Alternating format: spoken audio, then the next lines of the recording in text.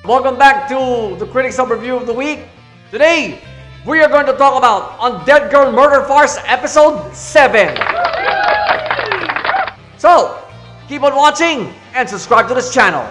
Now, the question is, na-sustain ba ng anime na to yung, yung ganda ng performance from the previous episode? Well, let's find out right now. Pa eh. From start to finish, this episode had a really tense pacing. Lalong-lalo na nung pumasok na yung grupo ni Moriarty. Do I have complaints, guys? Absolutely none.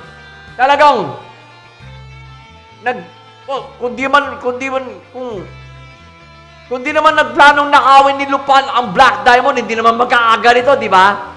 Yun ang puno dulo natin ng ito eh. So, from start to finish, naging tense ang pacing. Grabe. I have no right to complain about the pacing. Flow naman.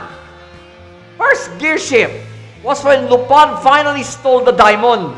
No-brainer of a gear shift there, folks, because this, well, I see it as the as the as the only trigger to this episode.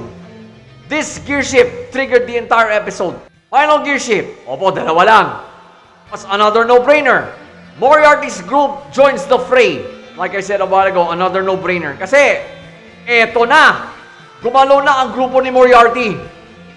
All because they want the diamond for themselves and of course, uh, Moriarty's, Moriarty's, probably his true intent here is to humiliate Sherlock Holmes.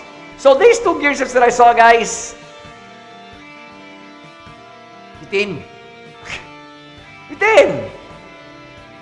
Tandaan nyo guys, gear shifts only serve as markers in an episode.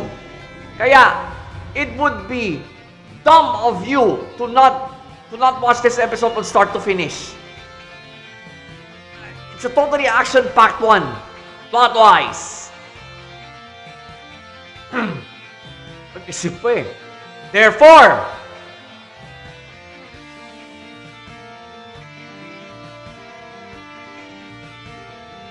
malinis ang plot, guys. Ano, maghanap pa ba kayo ng backstory or side story dito? May mga explainer. Okay? May mga explainer which is totally necessary for this episode. Kung paano, uh, on how Aya ended up in the safe and, how the diamond was trans was uh, was switched to uh, was switched to to Lestrange's coat. You need those explainer sequences. Kundi mawawala kayo sa episode na to. Okay?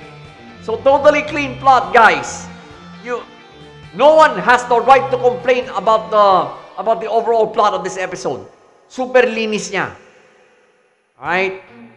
So pace, flow, and plot all came together for this episode, folks. Talaga masasabi ninyo that wow, right? What a way for this anime to to start the second half of its run with a free-for-all type.